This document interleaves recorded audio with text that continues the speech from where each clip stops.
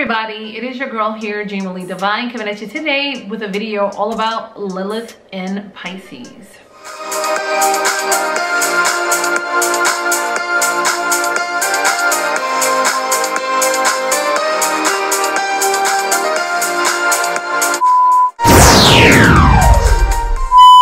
Lilith in Pisces, the delusional sexual fantasy.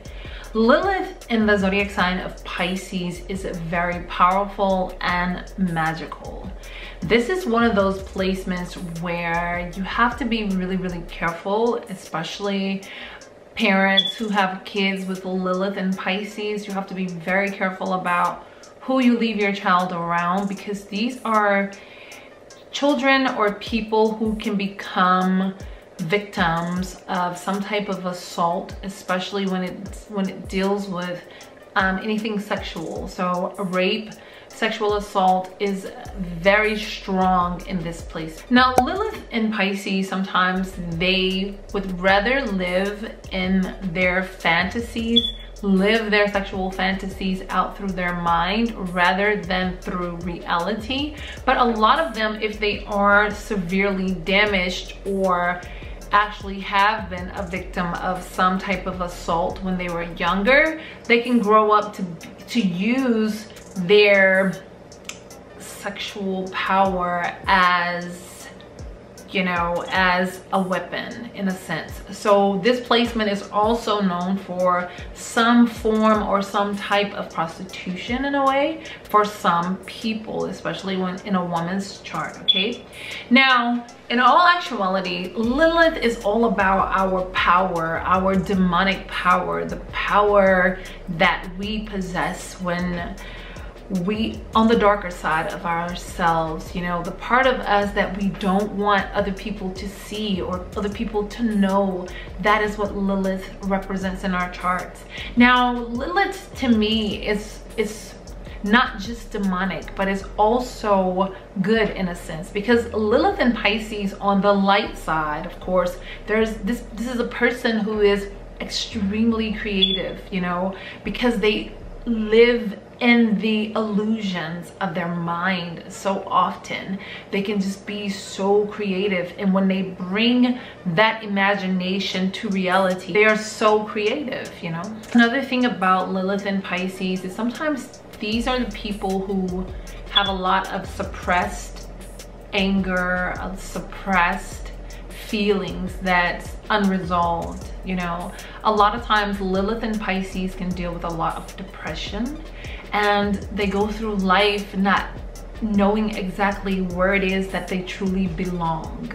A lot of times they can be really hyper in a sense but hyper in a way when it comes to their emotions. Like they can be hypersensitive. Like the smallest thing can set them off and they can just feel so paranoid that people are always looking directly at their hurt, their pain, or their shame. They're just so they're so vulnerable in a sense when it comes to their emotions and expressing who they are and what they feel. So I do feel like a lot of times Lilith and Pisces type people they definitely can benefit from any type of therapy psychotherapy especially. You know just dealing with that suppressed energy learning how to release that suppressed energy is what is going to help lilith and pisces become their greater selves. And just a word of advice to lilith and pisces people who have suffered some type of assault in their life you have to understand that it was a part of your purpose. It was a part of your destiny. It wasn't to make you feel ashamed and to blame yourself for whatever it was that happened to you. It was to prepare you for what is to come because you are the chosen one. Lilith and Pisces is the closest to God because Pisces is the ultimate servant unto God.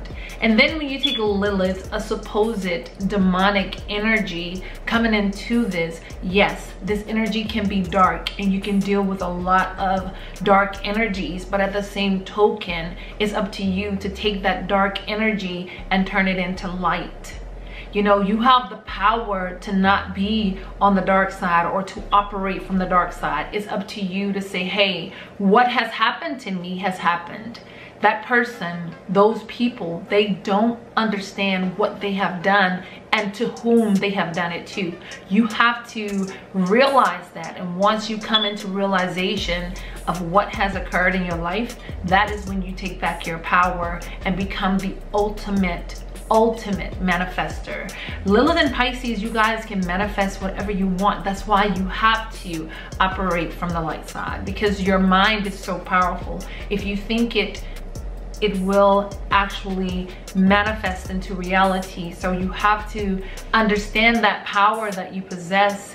You are a person that people do sexualize you a lot because that's the energy that you possess. People feel like through you, they can live out their fantasies, all of their fantasies, and they don't see you as a relative or see you as just a person who's just trying to live your life the best way you know how. They see you as an object. And is that fair? No, it's not. But can you take back your power? Of course you can. You're in control.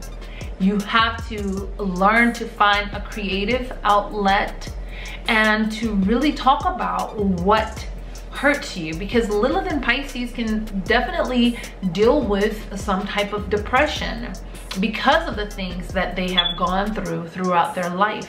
So dealing with some type of depression is going to have you feeling like you sometimes you don't know where you belong why are you here what's the purpose of all this hurt this pain or this shame and then some of you guys will actually again like when i talk about prostitution some of you guys may just feel like this is what i am and this is all i'm going to be so this is how i will live my life that's not who you are that's not who you came here to be you are so much more than just your body.